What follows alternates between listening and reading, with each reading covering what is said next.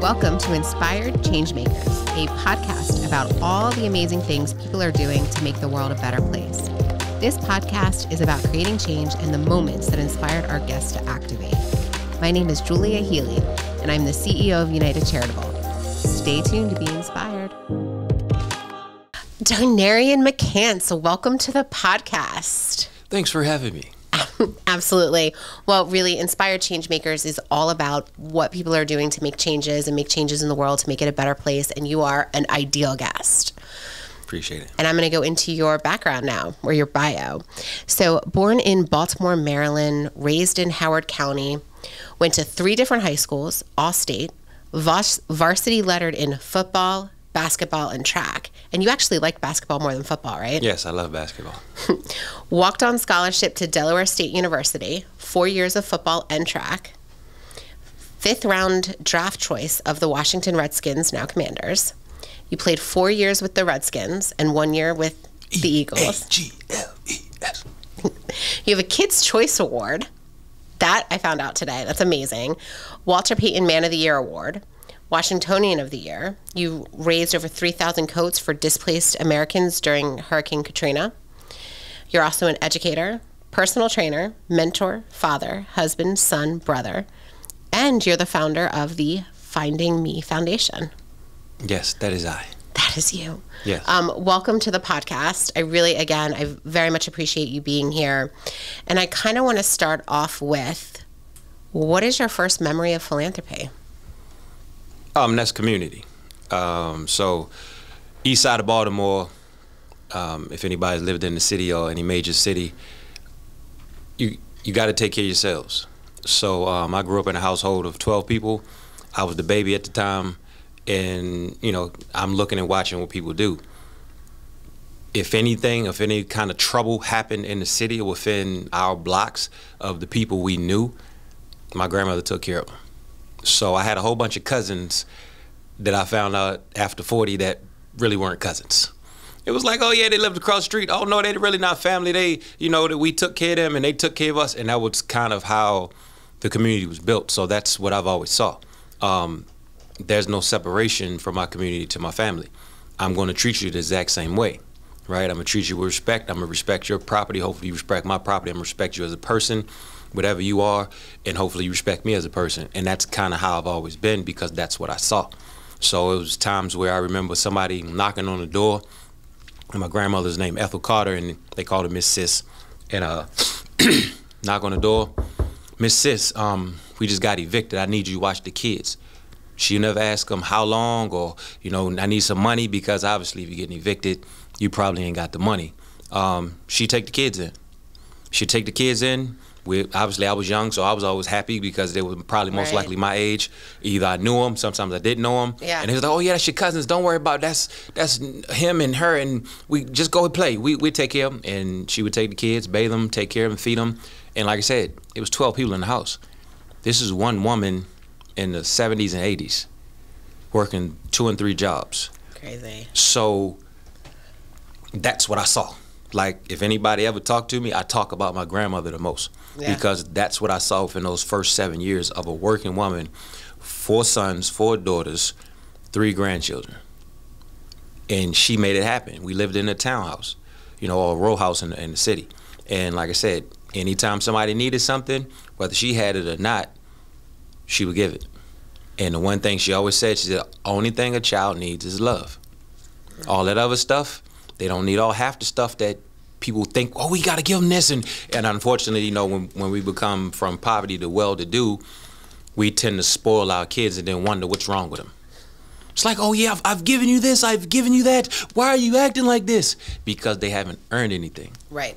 they haven't seen the love factor of hey you have to be around something to give to get Right. and like i said those things you can't you can't replace it like i said i won't be remembered or i guess the accolades won't be set until i'm passed away unfortunately i was saying that just because of what i've seen from men Right. it's like oh no they hated him they hated him hated him and then once he's dead oh he was so great right. so it's kind of to be expected. But far as philanthropy, um, it's just the community, what I've seen, um, and how I was raised for the most part.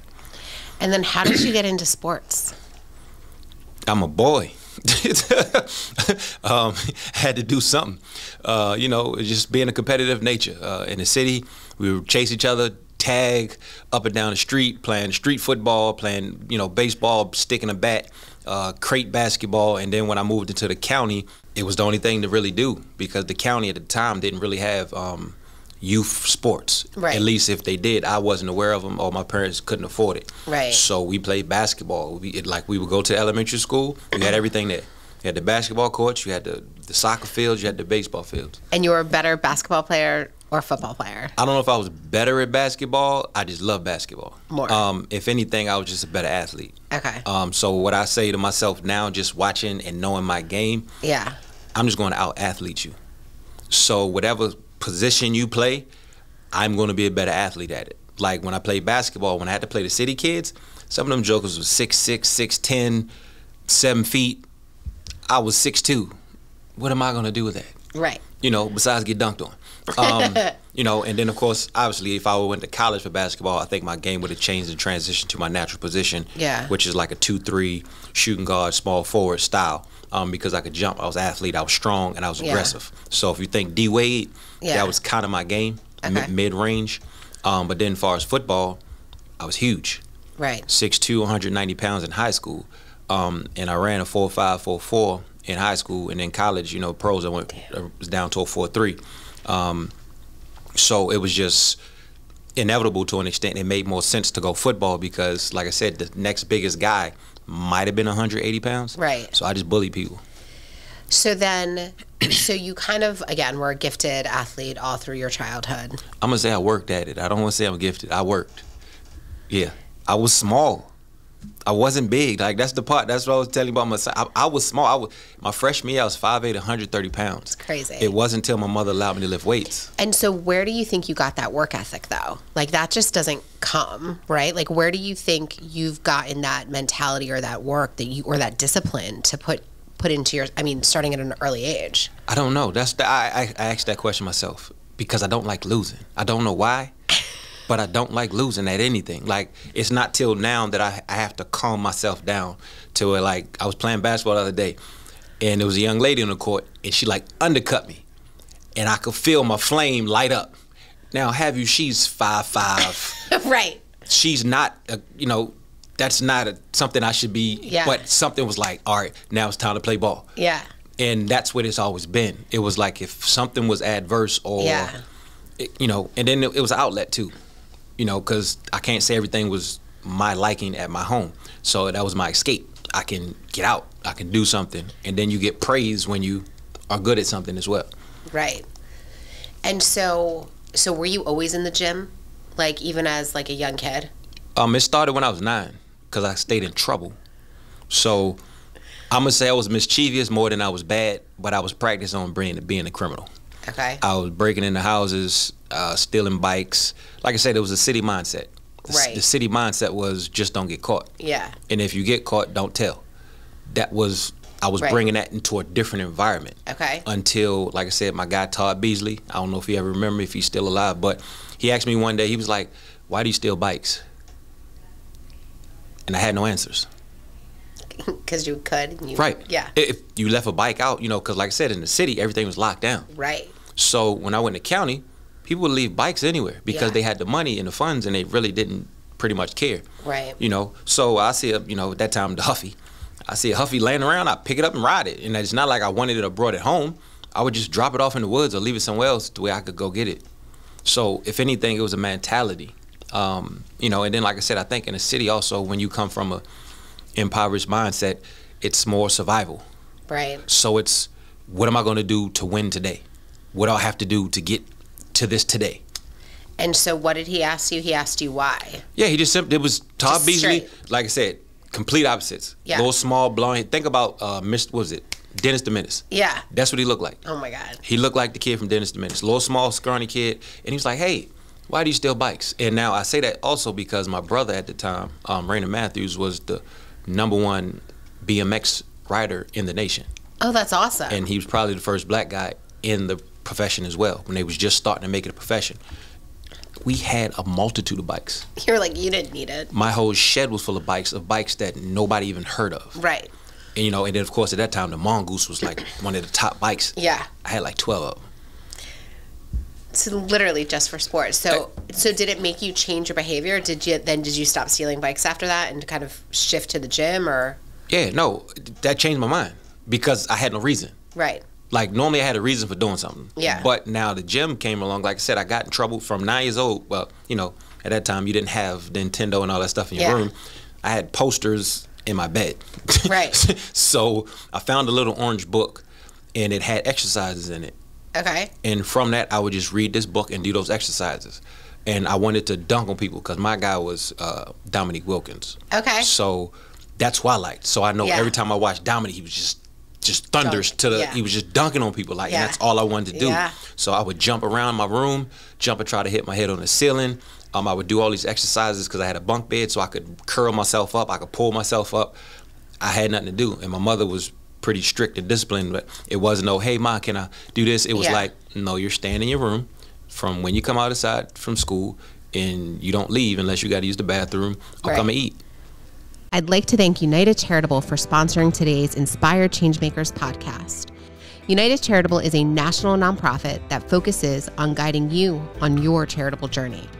Whether you like to simply streamline your giving or you like to create your own charitable initiative, United Charitable has the knowledge and resources to support you. If you'd like to learn more, check out the link in our bio.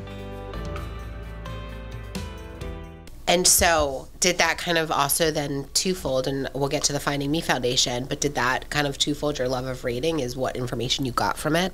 Um, the love of reading came from National Geographic Okay. because of the colors in the animals. I wanted to be a um, veterinarian or a zoologist, so I was infatuated. I'm still infatuated with animals. It's just the fact that I know they're dangerous now. You're like, I'm not going to go up to a Right. zebra. Yeah. Well, so it's just I wanted to know the names of these animals and why I didn't see these animals and where can I get to these animals. Mm. Okay. So then you start getting into Latin because they're named after you know the most of the names are Latin. Okay. The actual names of the animals. Um, and I would just keep reading them and I'm like, what is that? And then I would try to search and find, and then I would read dictionaries. Okay. Um, so for passion for reading came from National Geographic, trying to figure out why are these animals and why don't they live in my neighborhood. And then, so now you're again nine years old. You're getting into the gym. You're getting into all this stuff. When did Jim was 15. fifteen? Yeah. Okay. When did you think, or did you ever think that you were going to be a, a college athlete and then a professional athlete? Um, I would say at 12. So at, at 12 is when I decided I was going to go to college. Um, see, none of my parents went to college. My, I could, um, pardon for my father. My father went to college. He didn't finish Yeah. because he he makes a point that I say this, and I went to. My goal was to go to college, Yeah. get a degree, because none of my parents had, or nobody in my family had done it. And so, what made you pick Delaware State? I didn't. I walked on. Tell me what that means. Um, basically, nobody recruited me. Um, I showed up to the school and said, "Hey, I'm Darnerien McCants. Um, are you willing to let me play on your football team?" Right. So how that worked was And you got them to pay for it. yes. Okay. Well, like I said, I was 17, 6'2", 190 pounds. Yeah. Size, speed, and talent. But why Delaware State? Uh, because that's where my stepdad took me. I mean, it's- those were the ones who said they had the money. Really? Yeah. So. So you didn't look at Howard or you didn't look at like anywhere so local, let me- Baltimore. yeah. So that means like I give you the story now. Yeah. So that's why I said it might take longer than 30 minutes. okay, let's go. So my situation was, like I said, I went to three different high schools. So I didn't know about the transcript. I didn't know about core classes. I didn't know about the clearinghouse. Got it. None of my parents went to went to college. Right. Uh, my brother did. My stepbrother did, but Yeah. he went the academic route. He was a straight A student. Right. Forever. Right. Um, so straight A's, you just pay for it or you get a loan and you Yeah. go. Right. It's, there's no real requirements. So it wasn't almost until m- midway through my senior year where my counselor was like, "Hey, you're not graduating. What are you going to do?" Like, what you mean I'm not graduating? And he was like, "Well, you don't have a, the GPA." And I was like, "Okay, well, I went to three different high schools. Let me get my transcripts." So my transcript said I had already graduated. Oh wow. So I'd actually graduated a whole, I think, a semester or yeah. Yeah. I only needed, I didn't need anything to be in high school. Yeah. But I didn't have, I couldn't do work study because I didn't have um, a license. Right. Um, so I had to just stay in school. Yeah. And then they was like, well, you want to play sports? Did you do the clearinghouse? And I was like, what's the clearinghouse? So I didn't get all this stuff situated till almost May or June. Okay, so you didn't have a lot of time. No. So when we went to the different schools, they were like, well, we never heard of you because I wasn't a football guy. Right. Uh, the biggest university that was looking at me for basketball was um, University of Dayton. Yeah. But what I found out, Coach Oliver, he was actually a local guy. Yeah. He had been watching me. And he wanted to Oh. bring me up. But when they sent me the paper, um, a guy on the university had passed away. He was a center and he was supposed to go pro. He had passed away from a heart issue. And they was like, dude, we got to bring in three forwards just to replace this one guy. Crazy. And they sent me a list of all the guys they were bringing in. It was five guys on that list that were just like me. Really? I was about 12 and 14, so 12 points, 14 Yeah. rebounds, or 14 points and 12 rebounds per game. So that was pretty much my average. Okay. Um, it was five guys on the list with the same average. So then, see, this is how I know the universe. This is just makes me believe so much that the universe puts us exactly in the right place at the right time to accomplish something, right? Of course. So you walk on and you say, "Hi, I'm Darnerien McCants. Um, I'm going to play football here, and you're going to pay for it." Yes, that was pretty much what happened. My stepdad was, you know, we had the VHS. Yeah. He didn't say that. He was like, "Hey, how y'all doing? This is my son Darnerien." He pops in the tape. He takes their tape out and pops in, and it's just so ironic that, like I said, all the coaches were in the room, the head coach and all the position coaches. That's crazy. So he pops in my tape and press play, and they all got quiet. Did you always play wide receiver? Um, and well, I played different levels. So JV, I played two years in varsity one year. So I played wherever they needed me. So coming Okay. from small, Howard County small, Yeah. you don't come off the field. Right. So wherever the best athletes are, you don't come off the field. So Okay. I played wherever they put me. and so you go, and your freshman year, you played your freshman year. No, they Or you redshirted redshirted me. Okay. Right. So then you go in your sophomore year. Yeah. And what was it like to play for that university? Um, my first game was six catches, 170 yards, and two touchdowns. It was just what we did. It was just what I was used to. And what wide receiver did you look up to growing up? Oh, Art Monk, Herman Moore, Jerry Rice, Michael Irvin.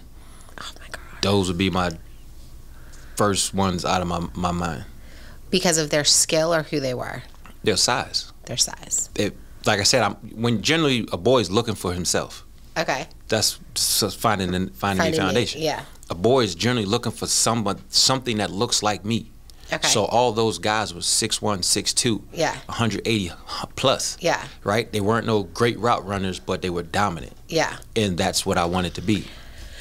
And so, and you still you still do a lot of giving back to Delaware State. Oh, yeah. yeah. That's like your home away Yeah. from home. All right, that's home. Yeah, home Love of the it. Hornets, baby. And so, did you decide that you were going to go pro? What was that journey like for you? That wasn't a decision either. I just, I didn't like losing. I wanted to be the best. Yeah. So it wasn't a, Can I ask one question between us? Do you, when you play like Connect Four with your kids, does that competitive like look on your face come out when you're like facing your you know 12 year old and you're like I'm gonna take you down in this Connect Four game? Like, can you like can you lose No. to them?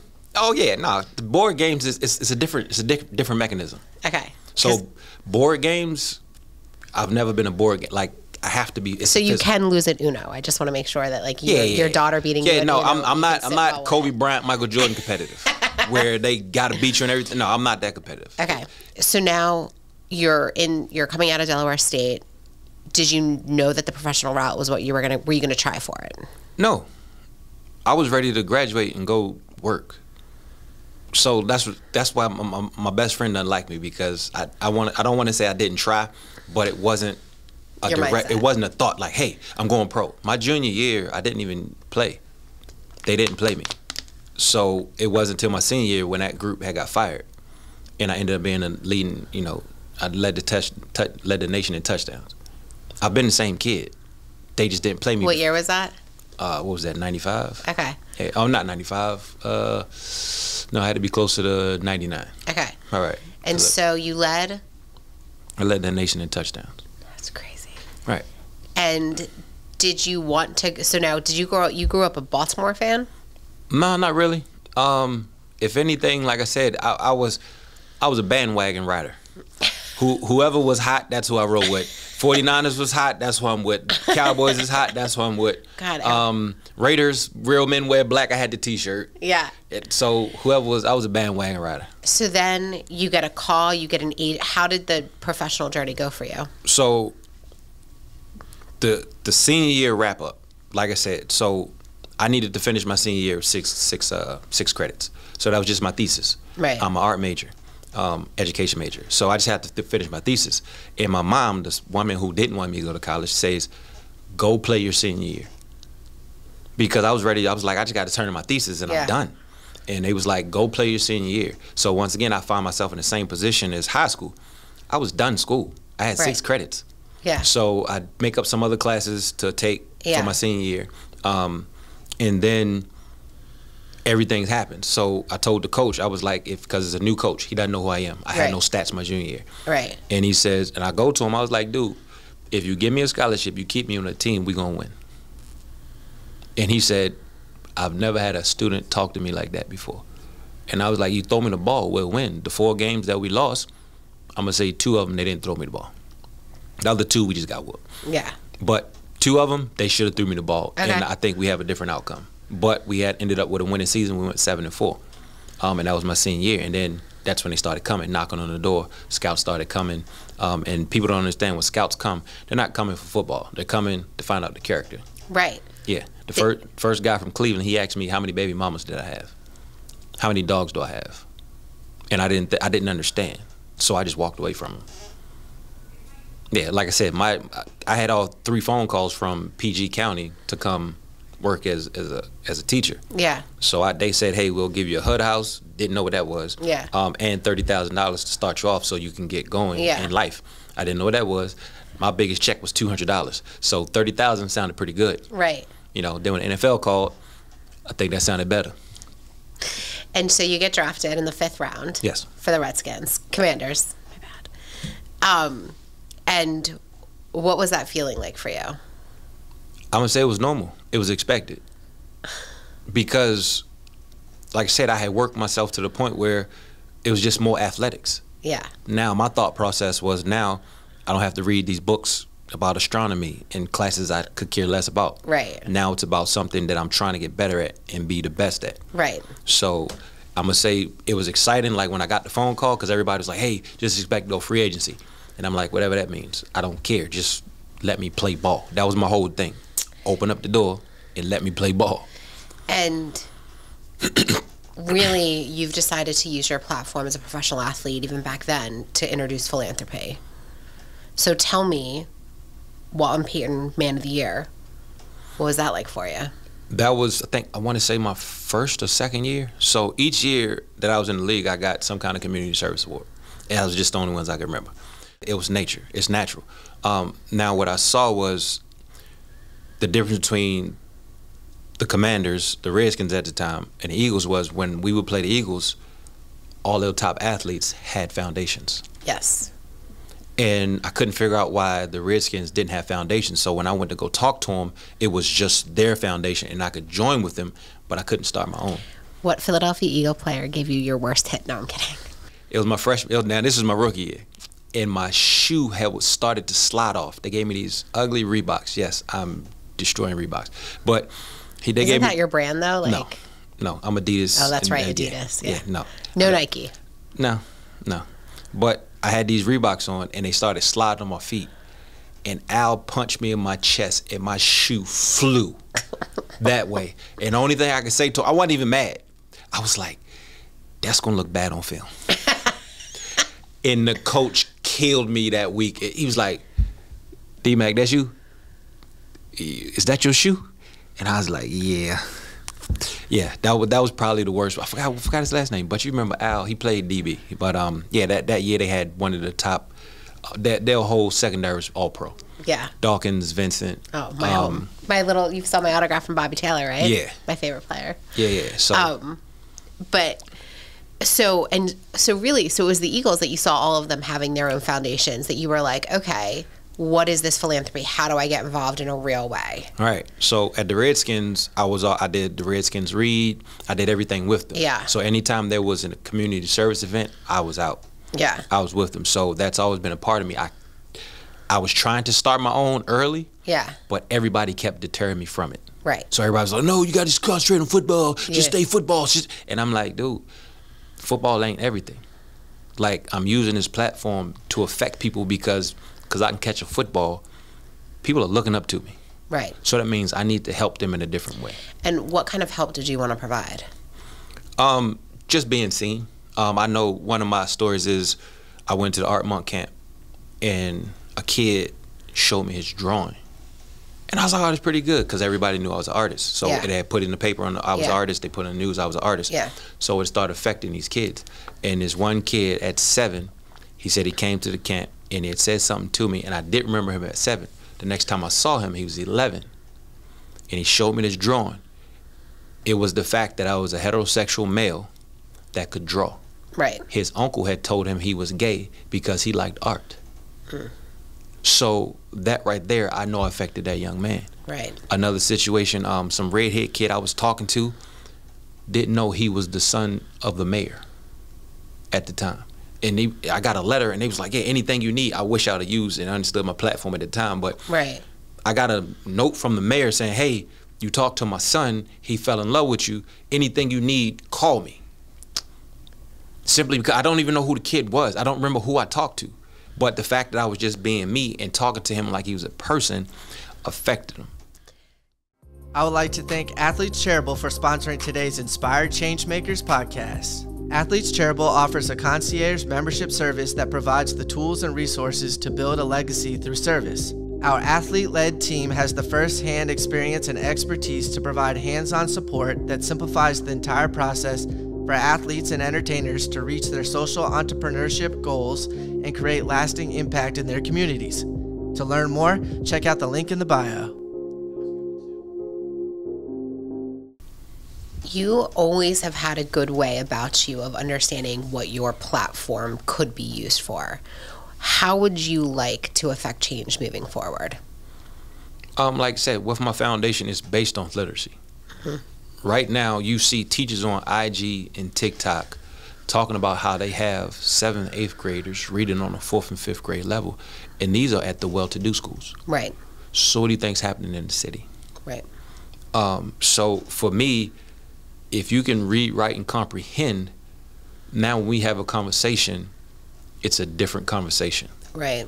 I'm not speaking above your head. You're not. You're understanding what I'm saying, and then moving forward, far as our society, if these kids can't read, write, and comprehend, how are they gonna fill out resumes?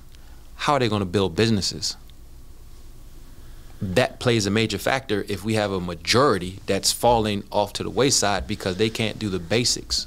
So the purpose of my foundation was to catch them. It says statistically, mm-hmm. all we got to do is catch them by fourth grade Right. that's eight or nine years old. Right. And that's it. Like, to me, that doesn't sound like much work. If we just dedicate that time, and that will help them move forward. So then you moved from being a professional athlete, and then we went through some transition. And what was your next step? What was your after you were a professional athlete? Uh, fell into personal training. So once again, I'm in the gym, working at Gold's Gym, and uh, big guy comes up to me, hey man, you know, I'm from the streets, uh, but my son is a wide receiver. He's taken his, his family from New York because he was about to get in trouble and brought them to Ashburn. And his son is athlete, and obviously he doesn't want his son to go into the same world Right, he went yeah. into. So I'm training about 13 kids from Briarwoods. And then I get a phone call after the season like, hey, coach, are you doing that camp again? I'm like, what camp? I was just outside playing with kids. I, I was like, I knew stuff now. So Yeah. it wasn't like, hey, let's just play a game. Yeah. It was like, all right, you need to work on this, you need to work, and I could see it. Yeah. And I could see who had talent, regardless of their size. Yeah. And your foot, your feet, your feet work good, your hands are good, your eyes. Like I could tell them what they were, and then they would build confidence off of it. Yeah. And then all of them ended up playing pretty well. So then after that, I had to start a business Right. and that's when I started my business of personal training. And first, I just started off with with athletes, um, and then and then it was it kind of they kind of blend because then the mother was like, "Hey, do you do you train adults? Do you train old people?" And I'm like, "Yeah, I train anybody who wants to learn how to you know be fit," and that's what it came down to. So do you remember meeting me? Yes. Yes, you walked up to me. Like I said, it, but that's where you, if you believe in the universe or anything greater, Absolutely. you were what I was looking for. Right. Because I had, I think 2005, like I said, that was my last year with the Eagles, and I was trying to start my, uh, my, I guess, my own company or you know Foundation. foundation. That's what I'm Yeah. looking for. And I, I saw you pre- pre- previously, but you would just kind of do your thing, so I didn't Yeah. say anything to you. Um, but then you came up to me, I was like, do you remember? Hey, I was like, teach me how to use this machine. And you were like, no, just squat normally. You're like, you don't need a fancy machine, just squat. Well, a lot of it, it, a lot of the machines were based off people who did, who had disabilities. That's what Right. people don't understand. right. The military made these machines for people who came back with missing body parts. So you don't need machines unless you're missing a body part or it's actually for rehab Right. from, you know, understanding kinetics. And so you actually met me before I was the CEO of the company, before I started Athletes Charitable, before Yes. I've done a lot of it. Yes. Um, I would like to think I'm the spark that started Athletes Charitable. Um, no, definitely. I don't know if I would have had enough. Because, you know, I deal with like a lot of like, nah, I don't really, like, what, how am I, like, how, who am I? Like, how am I going to get, you know, now look at Athletes Charitable So you got like 12, 14 athletes? Something? 30. Oh, you have 30. I missed a couple then. Yeah, a little Okay. bit. Um, and, and, but all of it though, like talking about the universe, and you, you kept saying, Julia, I want to do more. How? And that's kind of when the finding me athletes share the whole thing started to really go into place because again you were saying in all of your five years of playing you were discouraged from starting your own foundation or there was no real steps for you Right. It's organization. Like my, like I tried to explain to my wife, I'm the talent. the talent I need organization. Right. Because it doesn't function in my Yeah. head. Like I can see the big picture. Yeah. I know what I want. But those first two, three, four, five steps to get that's the toughest part for me. do you remember what i said to you when i said i want to start a professional do you remember your answer to me when i said The actual answer, no. I said, I said to you, I go, Darnerien, I think, you know, I'm going to have to make a big swing as the CEO. And now the CEO, and I have to introduce this to my board. I think I'm going to start a professional athletes division. I was like, but I have no contacts. I was like, don't really know where to go with this. And I was like, so am I crazy? And you go, you only live once. Okay. Yeah, like- I'm pretty straightforward and blunt. You're like, "Y- what's the worst that could happen? Yeah. You're like, say no. It, it doesn't work. and now, did you say? I mean, really, let's be honest of why I started Athletes Charitable. It's because I wanted to meet Philadelphia Eagles players, and now I just met AJ Brown, so we're done. Hey, it's right. good. It's full It's circle right. now. Full circle. Right. Um, but no, I really, again, when you talk about inspiring change makers and somebody that really does believe that other people can f- get exactly what they work for, you are a big component of that. And so I personally appreciate you very, very much. Um, but finding me, what do you want it to accomplish? What are your next fundraising activities? What's coming up in the next year? I got to get reorganized. So, like I said, uh, our situation, we tried to launch and COVID hit. Um, and the people I had have lives. So, you know, it became a very strange situation because a lot of people were passing away. Um, and like I was saying before, it was people that were younger than us that were dying. Um, so people kind of drew in a lot, in my personal opinion, even myself, um, because it was like, okay, that person's younger than me. That person's younger than me. That person's my age. I played ball with him. I played ball with. It's like, where are these? Why are these people disappearing from this planet? Um, so I think personally, it messed me up. Um, Right. And then I know uh, medically, I went into a depression. Um, so that was new, because that's a battle I haven't fought before. And are you were you still train personal training at this time? Um, sort of, kind of, but everybody was away from each other. Right. So there was nobody. So I call it hibernation mode. So what I was doing is actually uh, hypersomnia. I was sleeping 17, 18 hours a day. Yeah. So I would wake up to go to sleep. So I would get online because I was I was in the school system by this time. Yeah. Get online with the kids, and then immediately fall asleep. I knew my time I was supposed to get back up. I had my alarm clock set, get back online, whatever the kids had to do, and immediately go to sleep. And I would just sleep all day, and then it was time to get back up, or I would wake up to go upstairs to Yeah. go back to sleep. So I did this almost a year. Um, and then, like I said, I couldn't figure out what was going, on, and This my- is and this is really the first time in your life that you've ever really felt that depression. I didn't know what it was. I I just knew I what I I call it my radio. So I would be deemed ADHD, Right. where bing bing bing bing bing. Hey, this needs to go. Let's like Right. that's how my brain was normally functioning. It was like turning the radio back in the eighties.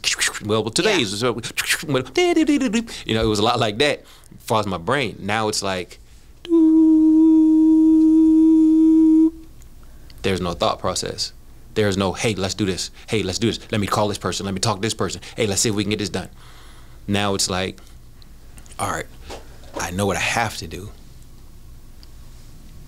Let's do it. So then, how did you fight yourself out of that?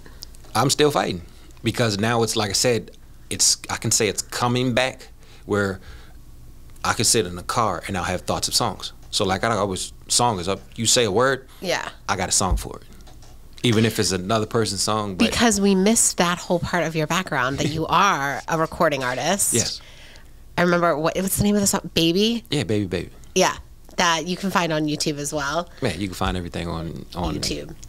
Um, but yeah, I mean, so the plethora of all the things, and then you decided to kind of leave personal training or kind of do it more on the side because you wanted to give back more. Well, I wanted to get. I, I was just getting in touch with athletes, and I wasn't getting in touch with females. So I had my girls. I had my track team, but I, I just felt it was. I was. What about the regular kid? Right. The regular kid that doesn't see a black male in the school. Right. Um, so that's where my thought process went, and my thought process took me to the school system. And where are you teaching now? Uh, right now, I'm at Westfield High School, Okay. hmm special education. And you love it? Oh yeah. Well, like I said, it's I'm I'm grabbing those kids who would never have seen me. Right. Because the te- what do you what did what did you say to him? What did he respects you? I look like him. Right. That's a real factor. Like Right. people don't understand because not everybody has a brother. Not everybody has a father or uncle Right. that they can say, "Hey, he kind of reminds me of myself," and he the tones. Like I try to explain to women, I'm like, my tone is different. So when they hear my voice, it's a different response. Like talking to kids. When you talk to a kid, hey, how you want? Look at the baby. Ah, Yeah. ah." We don't talk to each other like that. Right. We're no monotone. So it comes the same way to a boy. When they hear this big, deep bass of a voice, well, how am I? How am I supposed to respond? Right. I'm, I, I think I should listen. Right. you know, it, uh, they know I can't touch them. They know Right. I can't do nothing physically to them. Yeah. I could, but I can't. Right. so the possibility, but you know, they don't necessarily disrespect me. And like I said, I don't go into the disrespect them. I don't pull a power struggle like, hey, you should be. You know, I just let them be themselves and try to once again just guide them. Coach. Um, so tell me again, Finding Me Foundation, you your goal is to really put books in the hands of kids. Yes, we. I want men reading to young men, so they can see that reading is cool. I want professional men in front of young men to see more than just somebody who can catch a football. Right. I did. I never thought of catching a football as being great. Knowing what I know now and understanding that it's actually a genius behind it, because not everybody can do it. Yeah. That's kind of the truth, isn't it? Yeah, it's- A little bit of the truth. Yeah. But awesome. Well, Darnerien, thank you so much for coming on the podcast today. Thanks for having me. I really appreciate it. And if anybody wanted to check out any more information, it's findingme.org is where you can find more information about the Darnerien McCants Foundation and also follow him on all of his socials and he'll he'll greet you every morning with it's, a, great, day, to be alive. Awesome. Thanks, McCants. All right. Find Inspired Changemakers on Instagram, YouTube, and LinkedIn and comment on all the awesome things you are doing to make this world a better place. Don't forget to subscribe.